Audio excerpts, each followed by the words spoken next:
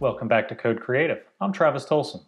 Today we're taking a look at how to get Flexbox layouts to work with widgets in Service Portal. So a typical Flexbox layout is going to look like this top example here where the contents stretch the full height of the Flexbox. And this is using mostly default CSS for Flexbox. Using a similar layout for widgets, you get something that looks like this one here where the widgets don't actually extend the full height.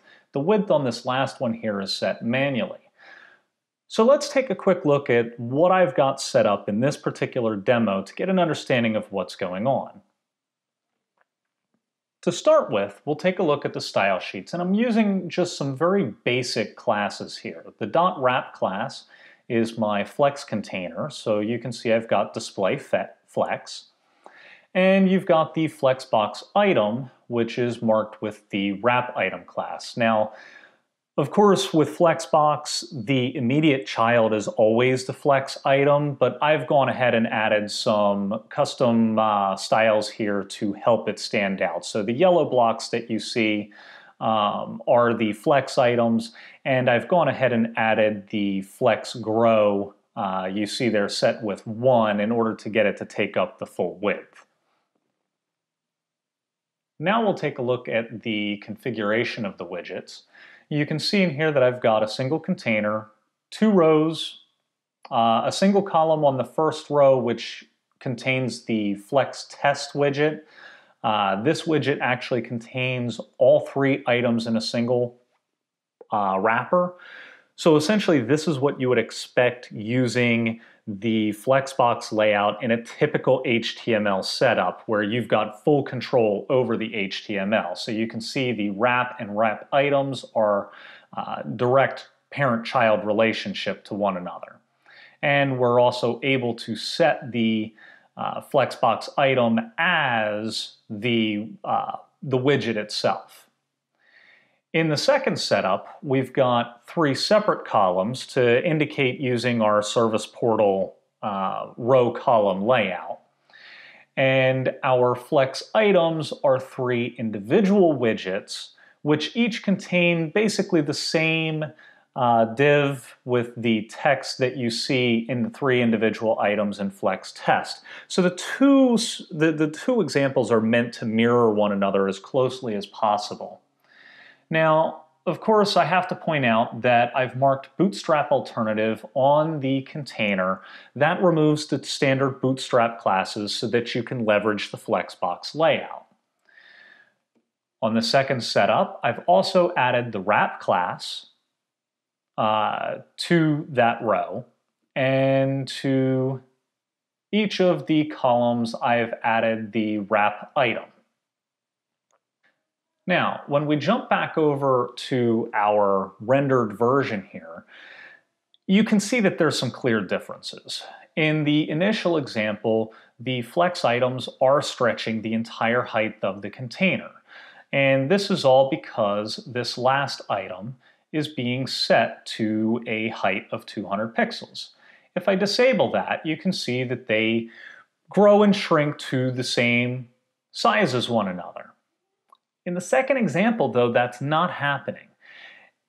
And if we do an inspect element on this one, we can quickly see that there's a very significant difference between the two. So down here we've got the wrap item, which is inside of our wrap. But when we get down to the widget, we have this span and div in the way before we get to this final div that contains the text. If we compare that to the above, what we have is the wrap, the wrap item, and the text. They're straight in line with one another. There's no other nodes in between it. And that's very important with Flexbox because Flexbox requires that your container be a direct parent of your item and that there be nothing in between. So if we take a look here, what you see is you've got the wrap, which is full height, the wrap items, which are also full height. You can see in the highlighted sections that it does actually extend all the way down. But our border is unable to extend all the way down because we're actually going farther down the tree. These are no longer Flexbox items. So if we want to extend that behavior all the way down, uh, let's take this one as an example. What we have to do is we have to extend the Flexbox behavior all the way down. So for example, our Flexbox item, our wrap item, must also be a Flexbox container itself.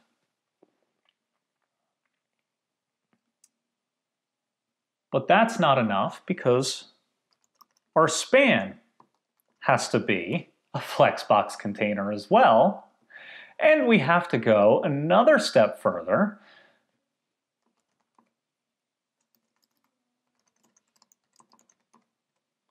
And now you see that the widget contents had stretched the full height going all the way down. But you can also see that our Flexbox items have shrunk up in the width. So we have to go back up to our item. And you remember we put the flex grow on this particular item. So now our span which is also an item. It's a, uh, it's a flex container and a flex item. We have to add the grow to it. And we have to grow this one. And we have to grow this one. And now our content is going to stretch all the way across. So to make this behavior permanent, we're going to come back to the CSS And we need the wrap item to be display flex. And flex 10 auto to set the flex grow in order to make the in order to make it full width. So we can remove it from there now. We need to extend this behavior to the wrap item with the immediate child span. And we need to extend this behavior to wrap item span and the first immediate child div. So we'll go ahead and save this.